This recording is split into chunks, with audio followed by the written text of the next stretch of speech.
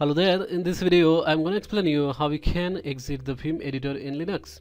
For that I'm going to open Vim editor and then do the name of the file that you want to open. There you can write anything in that file and then to come out of that just press escape key and then colon and then press WQ. As you can see it is displayed over here colon WQ and then you can just hit enter and you can come out of that Vim editor like that. So if you like this video hit like button